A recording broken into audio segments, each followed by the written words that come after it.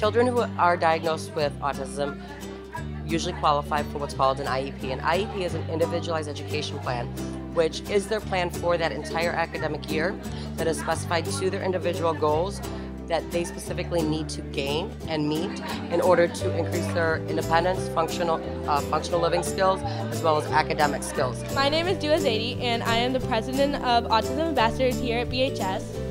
And in Autism Ambassadors, we raise money and awareness for autism.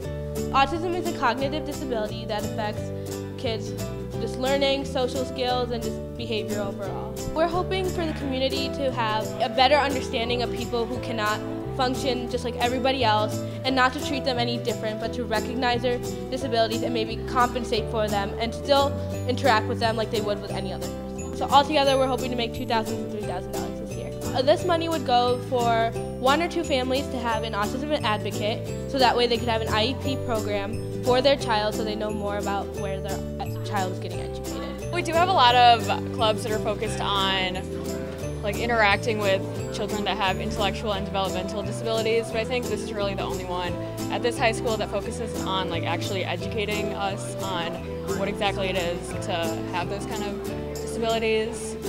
The reason I started this club was because my little brother is autistic and nonverbal, and what we found out through an autism advocate is that he actually wasn't getting the education he was completely entitled to. And our goal for this club is to allow more kids to have the opportunity to have an autism advocate so that way they can get an education they're entitled to. It was really nice to have another opportunity to get involved and learn more about autism and just different challenges other people face. As a club, we will be hosting bake sales and car washes and different events for our club members and members of the community to be able to raise awareness and raise money so autistic kids can have more opportunities.